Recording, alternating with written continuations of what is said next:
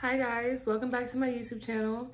If you want to see how I achieved this silky sleek retwist that was not done in a salon, done 100% by me. I never used to retwist hair until I got my locks.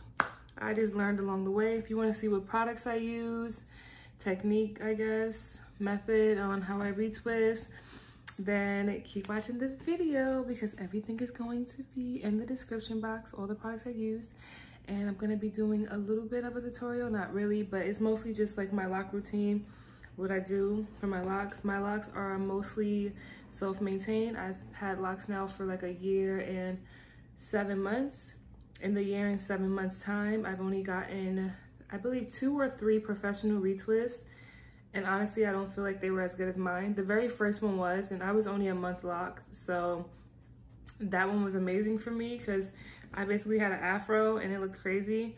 So that one was amazing, but the other two that I got when I was more down the line, I didn't really think that it was better than my um, retwist. I feel like I've been able to get it really, really sleek, really smooth, really nice without causing myself any pain. Um, and I've got my locks retwist once by my sister, who also started my locks for me. So you do not have to go to a professional to get your locks started. So if you're watching this video and you've been wanting to start locks, but your big thing has been, I want to go to professional, but they charge so much and I don't have the money right now and I want to save because that's been my thing. Like before I got locks, like I wanted to go to Nappstar and then I wanted to go to Nia, Lock God Salon. If you're from New York City, then you know those places, but they're so expensive to start locks. It's like almost $500. And if you want triangle parts, it's just like, no, you're going to pay almost a thousand dollars just to like have your hair coiled. So I was like, screw it. I'm gonna have my sister do it for me. And I'm so happy I had my sister do it for me because if I would have gone to get them professionally done, I thought that I had wanted my locks so much smaller. I never wanted thick locks. But my sister, she did them for me. And my locks are super thick and juicy. And she parted it much larger than we thought that it needed to be parted. And I'm so happy that she did that because my locks are so unique. They're so beautiful. I get compliments on them all the time and I love them. I love my locks so, so, so, so, so, so much. Funny story, last night, literally last night, I had a dream that I combed my locks out because I go through phases where I'm like, I don't want them anymore. So I had a dream that I combed my locks out and no lie, I woke up the next morning devastated. I was like, what have you done? Like I was trying to do styles and it just wasn't given. Like I just feel like locks are now a part of who I am. Like I just, I love them so much. Like I can't imagine like not having locks anymore. So this is your sign to get those locks started. Get your homegirl that know how to part, know how to do braids, know how to do a little comb coil, your sister, your mama. Look at some YouTube videos, do them yourself. You can do single, single, shrink. Okay. Do them yourself. Do them yourself, okay?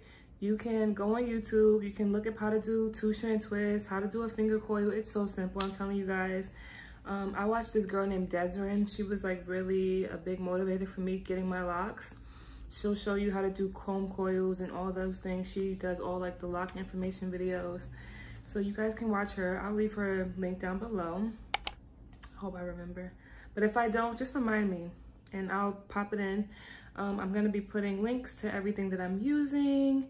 And it's not really a tutorial it's just like my lock routine. If you want an in-depth tutorial leave that in the comments.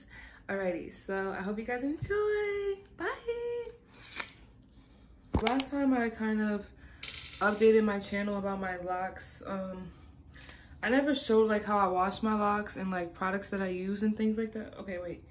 I'm gonna change my shirt real quick and then i'm gonna come the shirt that I'm wearing now is given unnecessarily exposed and um, I'm not trying to do that. So it's a tank top and it's kind of see-through, if you know what I mean. So we're not doing that. Okay, so back to what I was saying.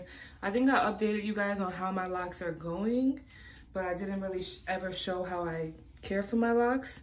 So this is what my locks are looking like now. It's looking very dry. My last retwist would be exactly a month ago on July 14th. Today's the 12th. I'm doing it now because I just got a last minute job interview and I'm gonna try to retwist it really quick in an hour before this interview. I stay doing impulsive things like this, but it is what it is. Um, so for shampoo, I really like to use the Aunt Jackie's Oh So Clean because this does not dry on my scalp. It actually makes my scalp feel very, very moisturized. So I really like to use this one. Yeah, enriched with shea butter and olive oil. It's, to me, Aunt Jackie's is like the dupe for Miss Jessie's. It smells so good. Like, it smells like peach candy. That's, yeah, like, yeah, like peach candy. That's how I would describe the smell. So yeah, if you ever had Miss Jessie's before, I used Miss Jessie's. You know Miss Jessie's for a bottle of like shampoo is like $30. This bottle was like five, $6 at Family Dollar. So if you got a Family Dollar, I don't think Dollar Tree sells Aunt Jackie's, but Family Dollar does. Or just go to your local beauty supply store and maybe a little bit more, especially if you live in New York. This $5 bottle is probably gonna be 8, 9, 10, but still, that's not 30 and it works really, really good. So for conditioner, I always switch it up. For the first like year, I didn't really use conditioner in my hair because a lot of locked people, they always say like, don't use conditioner. Conditioner will cause buildup and blah, blah, blah. But I'm the kind of person like every time I would wash my hair before locks, I would always use conditioner. And I feel like since I've been locked, and I haven't been using conditioner, I've definitely noticed a difference in my scalp. Like I never used to have a dry, flaky scalp all over the place. If anything, my scalp was excessively oily and that was a problem. Like it would start to smell a little bit, smell sweaty, especially in the summertime. It would just be so oily and like kicked up oil. Now it's always so dry and it sometimes hurts. So I decided I'm going back to using conditioner. So for the past like four or five months kind of i've been using conditioner and i definitely notice a difference. So if you haven't been using conditioner in your lock use conditioner on your locks. You don't have to put them on your actual locks but please like i take this and i put it on my scalp kind of like a, a mask like a treatment i just put it all over on my scalp let it sit for a couple minutes and i rinse it out. I don't actually put it on the locks itself. On the locks itself i like to just use oil I prefer to use grapeseed oil, sweet almond oil, avocado, or jojoba oil. Jojoba is my number one, avocado is number two, uh, sweet almond is number three, and whatever other one I said, that's probably number four because I can't remember it. But um, yeah, those are the oils that I love to use. So if you have jojoba oil, use that first. Grapeseed oil is really good too, but avocado oil I love because it has like a lot of fatty acids and whatnot, and my scalp loves that. So yeah, today I'm going to be using this Mielle Pomegranate and Honey. I used this before. I really like it. I like the way it smells. It smells so good with the Aunt Jackie's. You go from peachy to, I can't remember the scent, but it smells so good. So after the deep conditioning process, that's when I start the retwist. So for my retwist, as of late, I've been using a combination of products yeah, my sister bought this like mousse and I assumed that she left it in the apartment, but she didn't leave it at my house. So I guess today I'm gonna be using the Aunt Jackie's Curl Boss. It's like a curling gel, but it's not anything like gel. It doesn't leave your hair hard, crunchy, or flaky. It's coconut curling gelée Aunt Jackie's once again. It's like five, six dollars at um, Family Dollar. So I'm gonna use that for twisting. And just like on the very, very roots, just to get it real extra sleek, I'm gonna use a little bit of jam. I don't put it on the locks. I don't have buildup. You guys may be able to see like little white balls in my locks. I don't know if you can see it in camera, but that's actually not um, buildup. That's actually when my hair sheds, it sheds from the root. And the top of the hair follicle actually has a little piece of like the scalp attached. So I could actually see those little white balls. So I actually went and like picked one out and it's literally a hair strand with a white scalp piece attached. So I don't have any buildup. And I always use jam, gel, whatever I want to use to retwist. I just leave it on the scalp. And then when I'm done with everything, I'm going to use this Daily Hydrating Finishing... Excuse me. Mm. I'm going to be using this Daily Hydrating Finishing Oil Serum that has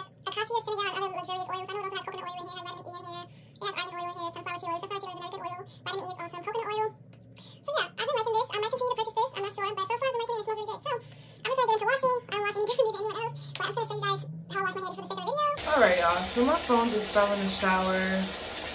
I'm trying to give you guys a good angle. That's what happened. I'm not getting in the shower because I already took a shower. I know that would be the easiest way to film this, but I'm not doing that. So I'm going to just wet my hair and I'm just going to pop back up when it's all wet. So yeah, I'm just focusing the shampoo right now. Mostly just like on my scalp. And trying to distribute that around. So once I feel like my entire scalp is saturated, I just use the pads of my fingertips, never my nails. You never want to use your nails and scratch up your scalp. That is going to cause so much trauma to your scalp. So always use your fingertips, the pads of your finger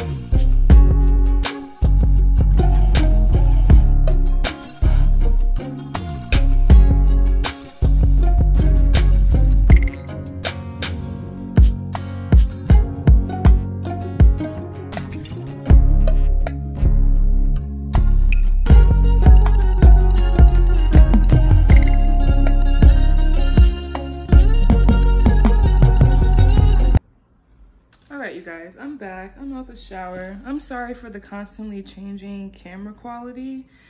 I feel like this quality is so much better than what I was doing when I was recording in the bathroom, but I don't have an outlet in the bathroom, so I'm not able to um, have my ring light on. So yeah. Um, so right now I'm just gonna, like I said, the Mielle, I'm gonna put the Mielle on my roots. If I have some left over, Oh, it's like a gel.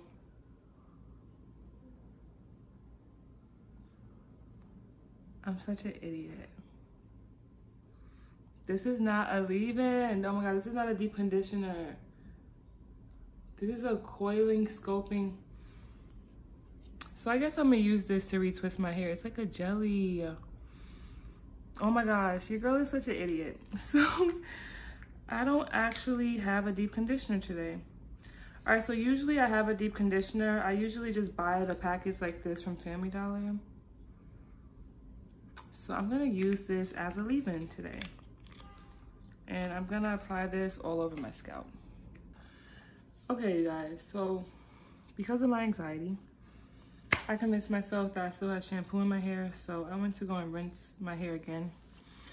But um, I also went to go get the rest of my products. So I'm gonna be using a mixture of this custard and this custard. They both have like the same exact consistency. So I'm gonna be using the both of these as like my gels. I'm gonna be using the jam for the extra, extra sleek look. And I got my rubber bands because we're doing um, two strand twists. I like to retwist my hair with two strand twists because it lasts longer for me. And I'm gonna be using my edge brush just to brush and smoothen the parts and the comb to twist and give a tighter twist, okay? So, okay, only thing I'm missing is a hair tie. Let me go grab a hair tie and I'll be right back. Your girl is just, is giving ghetto because I don't know why I be all over the place every time I do these things, but I do hopefully I get better. Like doing YouTube videos honestly stresses me out. But look how healthy, look how clean the scalp looks. It's giving clean, it's giving moisturized.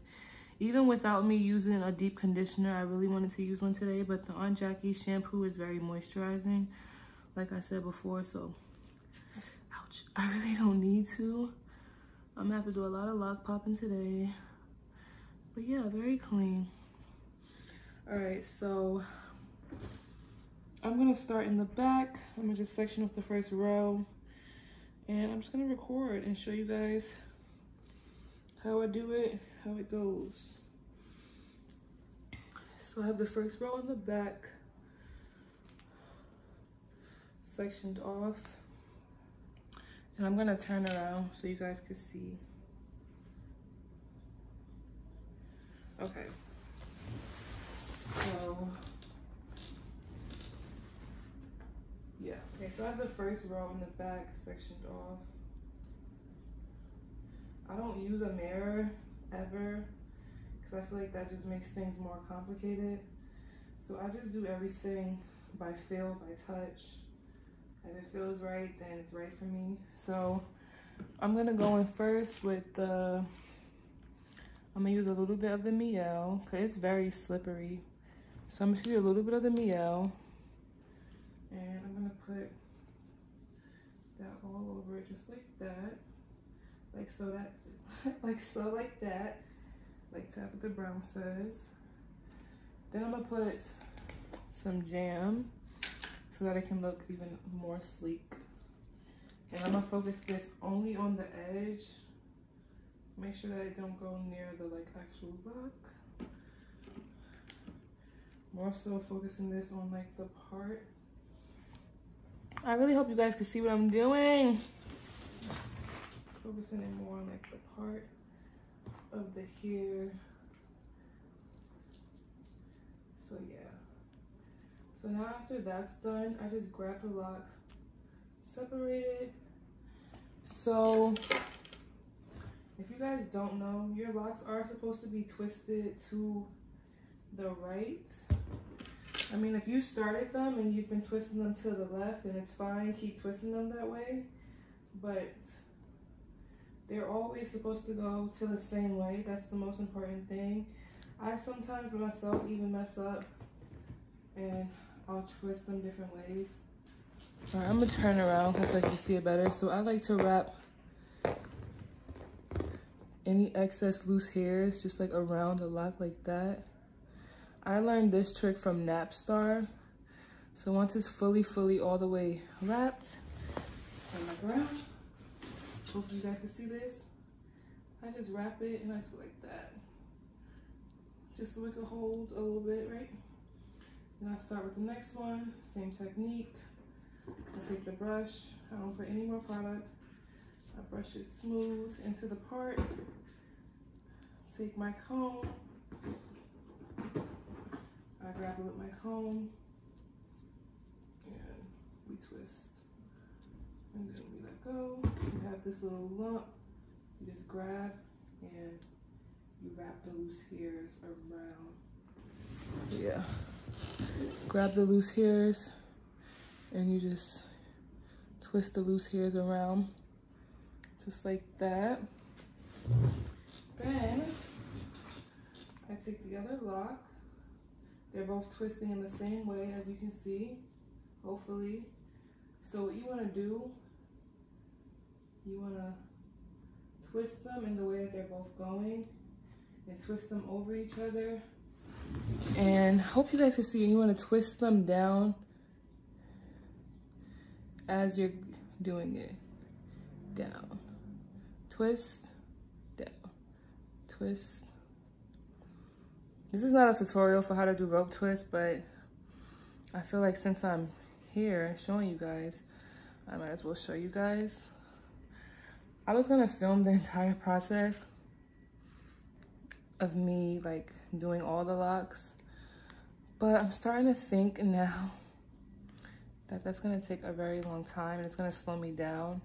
And I actually have a job interview to go to. So I'm gonna show you guys the rest of this row. So there you have it. There's the finished twist. It looks very sleek, very clean, very nice. I really hope you guys can see that. So wrap the around, wrap the around, wrap the around, twist more. You see how so twist at the scalp. So. This is going this way. This also going this way, both. So at this point, if they're both what you do is you the left, I think it's the left goes over the right one. So the one that's further right will go over the one that's further left. So you see this further right one is going to go over. Twisting both of them in the direction that they were originally. And that's just going to keep them tight and taut and together. Oh. Okay, you guys, so I'm slowly making my way around to the front. So, yeah. I'm gonna show you guys how I do it in the front.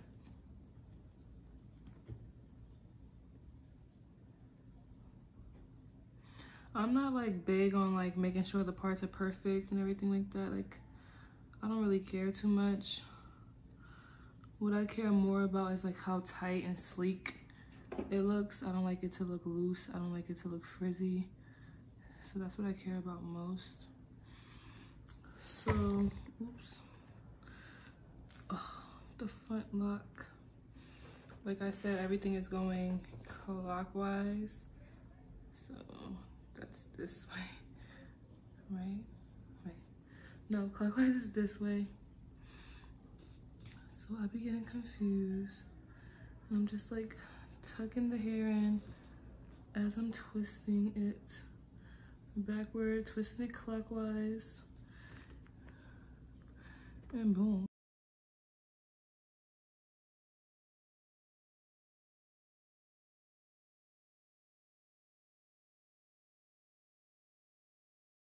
You know, like I don't go too hard.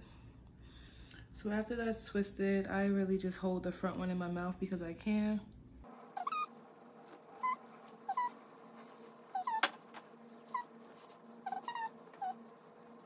Okay, so like I've been doing, I put a little bit of curling custard, a little bit of jam.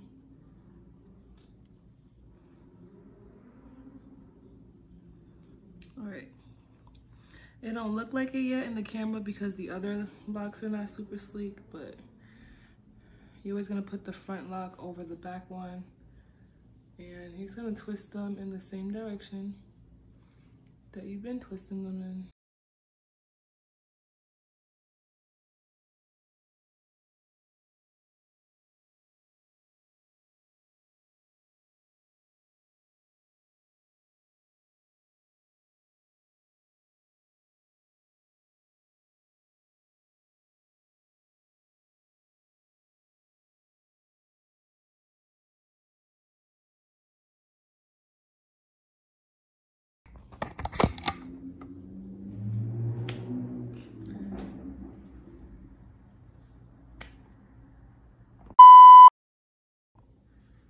All right, you guys, so this is the finished results.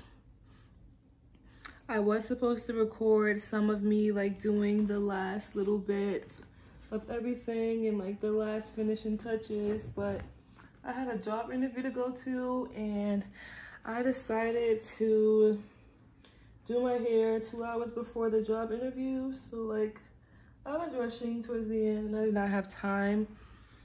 Um, to put the camera back on. And then the oven repair guy came to fix the stove in the middle of me recording. And it was just my sister called me for on FaceTime asking me for advice on an outfit and I just did not have the time. So I'm sorry I didn't record the front, but like I said in the beginning of this video, if you want a tutorial, an in-depth tutorial, just let me know. This is not a tutorial. This is just a lock routine. This is what I do. This is what works for me. You can maybe apply some of the things that I do and hopefully they work for you. Um, leave suggestions, comments, whatever, tips, advice, love, motivation in the comments down below. And thank you guys so much for watching. I really, really appreciate it. It means a lot to me. I've always wanted to make YouTube videos since I was like 12 and I'm finally doing it at 27. So thank you guys so much. I really appreciate you. I hope you all have a blessed day. Okay, remember to keep God first. Bye.